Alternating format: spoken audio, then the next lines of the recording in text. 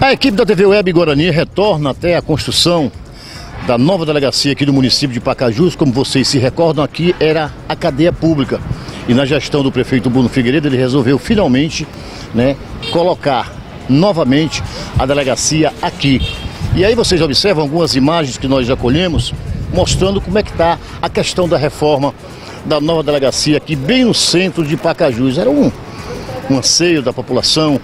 Aqui, por muitas vezes, teve montins, né, através dos presos, rebeliões, enfim.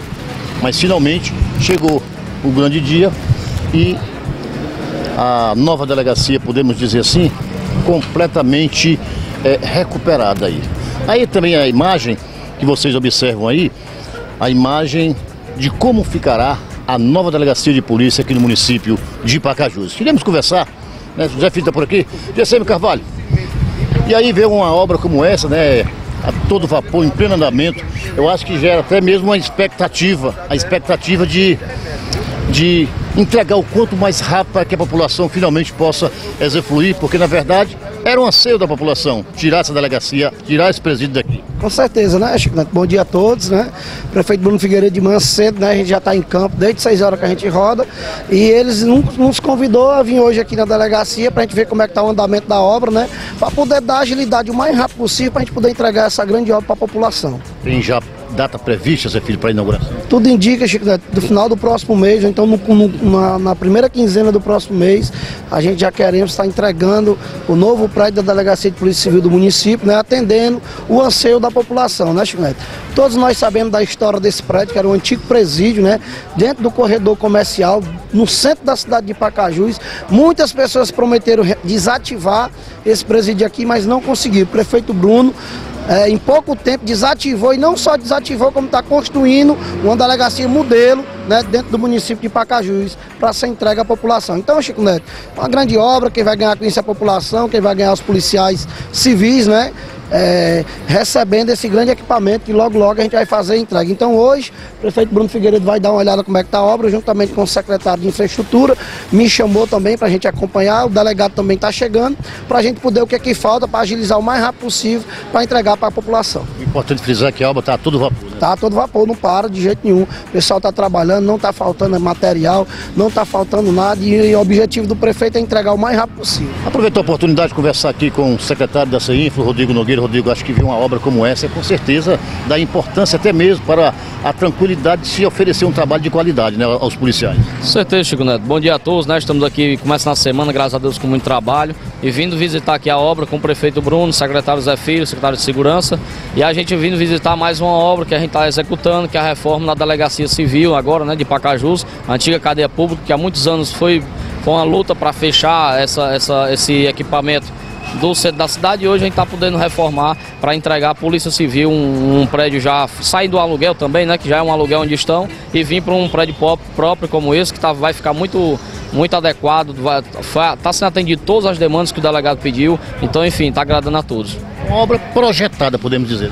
Certeza, a gente fez o projeto, acompanhou, o delegado da Polícia Civil acompanhou também, o secretário Zé Filho. A gente fez tudo o que eles precisavam, adequamos tudo que podia fazer nesse prédio e vamos entregar aí uma delegacia modelo aí pra, para, para a Polícia Civil, para atender a necessidade do cidadão que até ficar mais próximo da cidade, no centro, né, no coração de Pacajus, para que possa ser atendida essas demandas da Secretaria de Segurança. É importante frisar que a obra está todo vapor, mas eu conversando com o secretário há poucos instantes, ele mencionou né, que até o final do próximo mês já poderemos entregar essa delegacia? Certeza, já estamos no processo final de acabamento, sentando na cerâmica, estamos providenciando já as, as esquadrias da parte externa, a fachada, enfim, a elétrica está sendo feita também, então nós estamos só nesses processos de acabamento para finalizar com a pintura no final do mês e aí entregar, se Deus quiser, mais uma obra para o município de Pacajus. Como é que o calçamento lá do Croatá? Acabamos de vir no Croatá 1, na rua ali da WL Lumina, a famosa rua do Dete Falcão, né? Está sendo feita a recomposição de calçamento, lá estava muito, estava praticamente transitável. É, várias crateras que se abriram durante o inverno a gente já está é, recuperando, como a gente recuperou na, na, frente da escola João Ronaldo. E também estamos fazendo o calçamento da continuação da Rua Guarani, que é lá na Lagoa Seca, que é o calçamento que vai passar o asfalto. As máquinas já prometeram, a empresa chegou, prometeu de chegar as máquinas na quarta-feira, depois de amanhã, e segunda-feira a, a esperança aí de já iniciar mais uma pavimentação asfáltica no município de Pacajus, a décima obra de asfalto no município em menos de dois anos de administração, começando ali pelo Banco do Brasil, a Rua Guarani. Olha, visitando também a obra, está o delegado de polícia do município de Pacajus, doutor Marcelo. Doutor Marcelo, vê uma obra assim como essa, já fica, já gera aquela expectativa, né? É, com certeza. Então a expectativa é grande da nova delegacia ser inaugurada aqui no centro da cidade. Esperamos que em breve já esteja inaugurada, justamente para poder dar um atendimento melhor para a população. É importante frisar que trabalhar naquelas condições ali fica muito difícil, mas tudo né, se busca uma solução, mas com muita dificuldade. Com certeza, com certeza. A gente contou com o apoio da prefeitura aqui, a prefeitura de Pacajus está colaborando muito com, a Polícia Civil em estar tá responsável pela reforma dessa delegacia aqui. E o que a gente pode dizer é isso, é que a gente vai dar um atendimento de melhor qualidade para a população, um ambiente mais salubre, limpo, e a, acredito que daqui um mês, um mês e pouco, a gente já deve estar funcionando por aqui mesmo. Podemos dizer que aqui é uma delegacia projetada? Sim, sim. Foi toda projetada, a gente. É, a parte é uma. É, foi tudo feito nos conformes, com as medidas de segurança adequadas, a gente teve todo o cuidado junto aos arquitetos, o engenheiro, em, em, construir um local seguro e um local que a gente possa atender bem a população.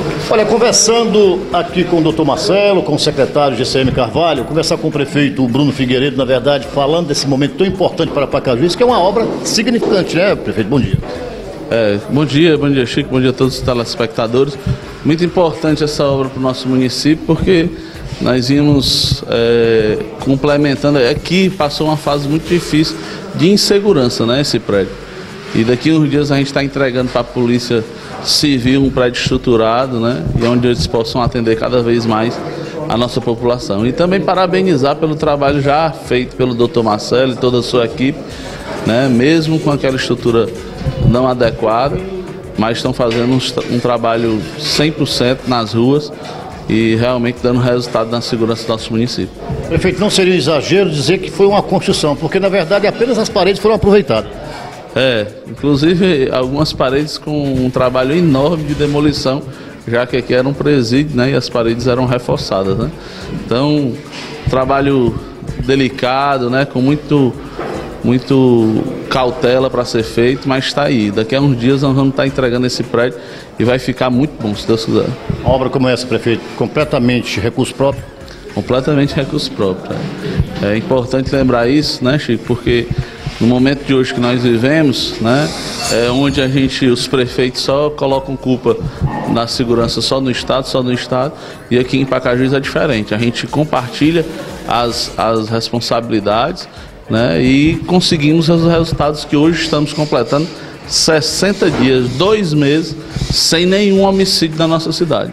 Mesmo com as ocorrências né, ocorrendo, acontecendo, mas ninguém é, morreu por morte violenta em dois meses na nossa cidade. Realmente é um recorde é, que a gente pensava que ia conseguir só ano que vem e nós já estamos antecipando esse, esse movimento. E se Deus quiser, nós vamos conseguir a nossa meta, que é um ano sem homicídio na nossa cidade. Vamos torcer para isso. Eu gosto sempre de frisar que a questão não é um gasto, e sim um investimento na segurança.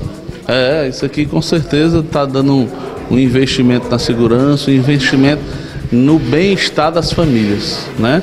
Na saúde psicológica das famílias, né? Porque toda vez que acontece um movimento violento, a gente faz com que as pessoas saiam traumatizadas, tal, e problemas de saúde. Então isso aqui é um, é um movimento não só de segurança, mas de saúde pública, de educação, de tudo. E a luta continua. Com certeza, o trabalho continua, né?